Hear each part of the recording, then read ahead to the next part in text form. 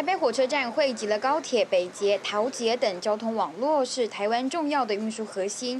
加上地下街以及商场设置，让北车每天涌入近五十万人次。也因此，发生灾害时能否立即整合，也是防灾关键。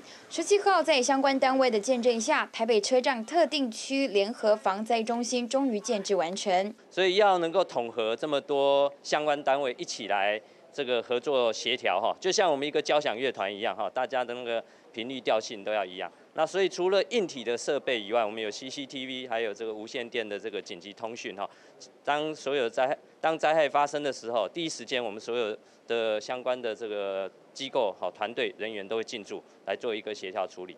防灾中心里大大的电视墙上可以看见不同监视录影器，让监控人员可以二十四小时掌握各个区位的最新情况，降低可能发生的灾害。那我们也透过平时，哦，这在智能化的这样的一个系统的运作下，透过 CCTV 还有无线电的通联，能够让事件能够。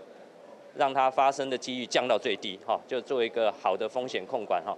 至于未来其他车站会不会跟进，台铁局则回应，台北火车站目前作为建制典范，未来若是更加成熟，也将可能持续推展。